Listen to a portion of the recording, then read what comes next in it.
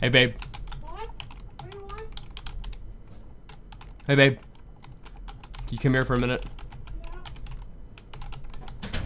Yeah. Yeah. Uh, we need to talk.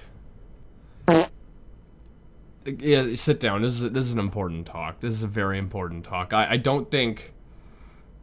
I don't I don't think you should be messing around or anything like that. Like you need to pay full attention. Okay. Basically, basically, uh, I think we need to break up. I think we need to break up, and yeah, it's, it's a very important talk. No kidding. And you're special to me. You're very special to me. You are one of the most important people I've ever met.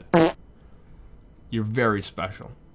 And the truth hurts.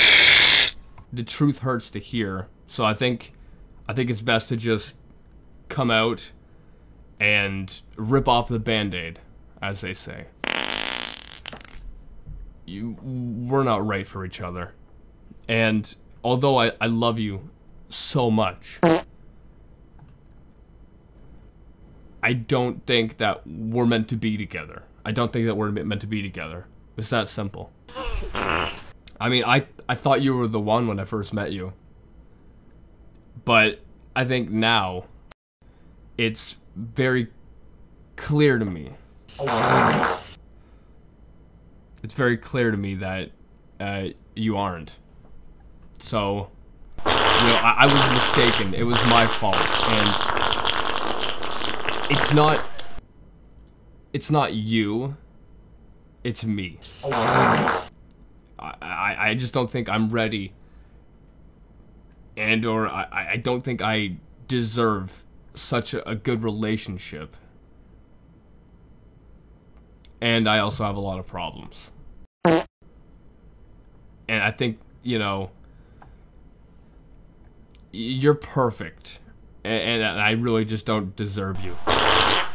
So, you know, maybe maybe in a year or so from now, when things get better, you know, when things get better, maybe maybe it'll be right. Maybe the stars will align, and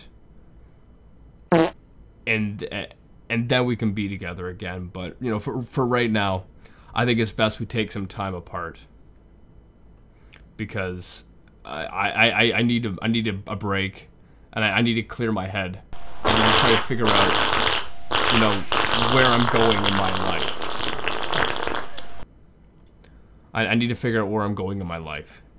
So, yeah, a, yeah, I'm sorry to uh, drop this news on you all of a sudden, but I think that it's best that, for now, we um, we see other people.